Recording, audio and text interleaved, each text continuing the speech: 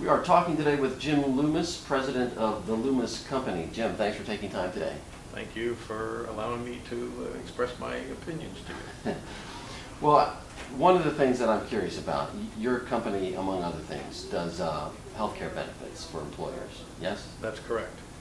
What, uh, first of all, what are you hearing from the employers that you work with? Um, Are they still kind of stressed about Obamacare, or are they worried about the changes? What are you hearing?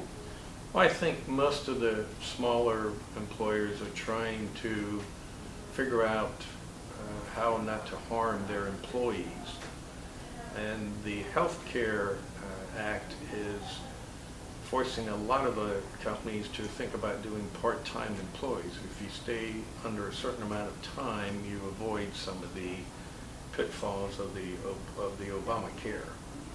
So there are, there are employers that, you, that you're working with that are considering taking full-time positions down to part-time so that they don't have to provide benefits to the part-time people. That's correct, yes. And um, what else are you hearing? It, um, are you seeing any, any, are any employers saying this, this is going to be good for us? No, uh, I haven't heard one employer from, and, and our typical base of client goes from 50 to 100 life employer to 10,000 plus lives. I don't hear positive from any, uh, any size employer. Um, What I see a lot more that's happening in the smaller, from the 50 to 250, I see a lot of those employers more or less getting involved in self-funded. And that's what we do. We are a self-funded claims payer, TPA, which is allowing them to avoid a lot of the acts that, that are going to be forced on the fully insured people. Now, how does that work? If, if, if you're a company and you want to pursue self-funding, what's the gain there? Well, the gain is,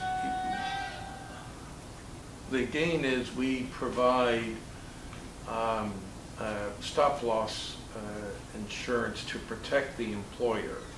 And it basically el- ends up being the same as a fully insured product, but if you manage your claims properly, you have a chance to save money and not pay the fully insured equivalent premium. Are you hearing employers talk about dropping their, their health care benefits and letting, letting their people get insurance on the exchanges? Some of, of that, I, I, I don't hear as much of that anymore as we did.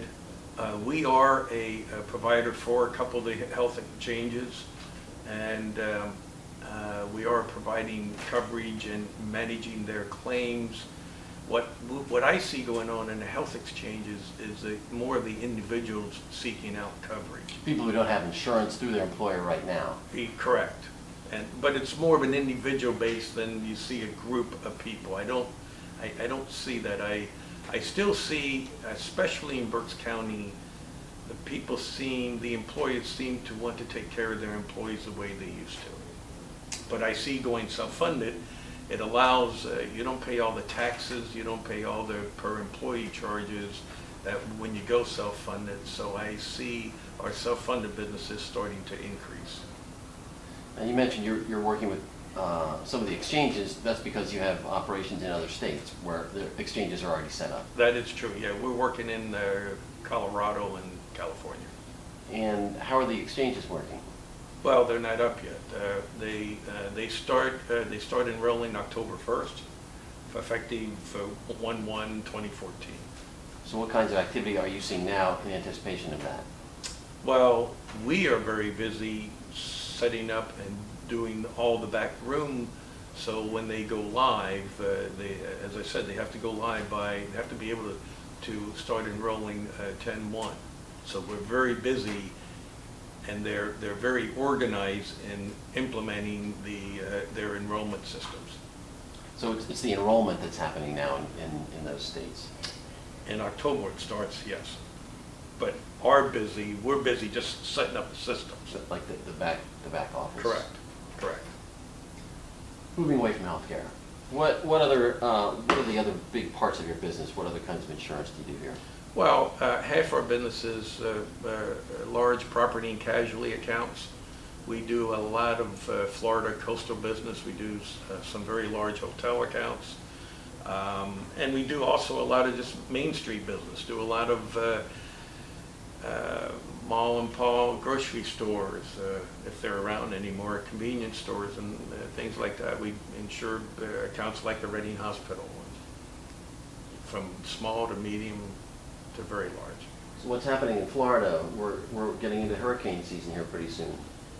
Florida, um, we deal a lot in the, in, in, in the London market, and, and I get a good reading from uh, Lloyd's.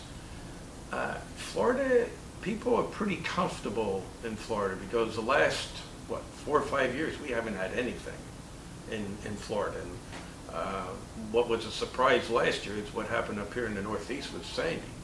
And that, excuse me, that has caused a significant uh, problem within, the- within the reinsurance structure in, in the Northeast area. Talk about that. What, what do you mean by reinsurance? Well, um, as, as you may or may not know, like the City Transit Authority, New Jersey, New York was way, way un- underinsured, so they're out now doing a bond issue for several, several hundred million dollars. Uh, the claims that, uh, uh, that, that they experienced were up in, up into the billions.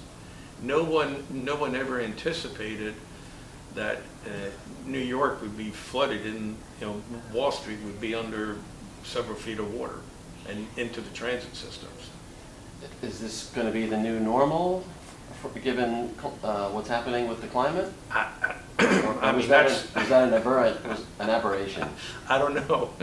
If you could answer that question, I think you'd be a billionaire, but uh, I really don't know that answer. What about premiums? Uh, Has, did Sandy mean uh, that the Northeast particularly is paying higher premiums? Uh, In some of the counts, yes. Uh, a- It's, it's always been d- difficult finding homeowners and c- that type of coverage along the Jersey Shore and New York and so forth.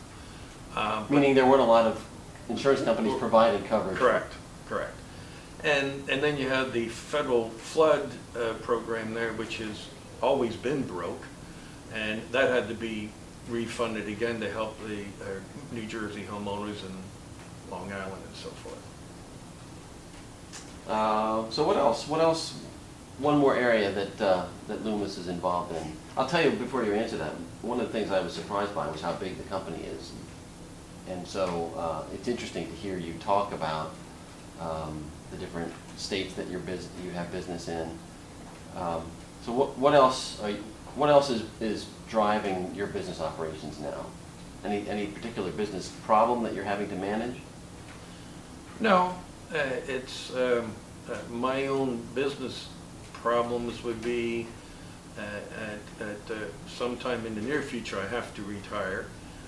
And uh, my son just came into the business, so as, as I think every business owner, we face issues of how to keep the business growing and, you know, what do you do there? And we're working on some rather unique products and ideas.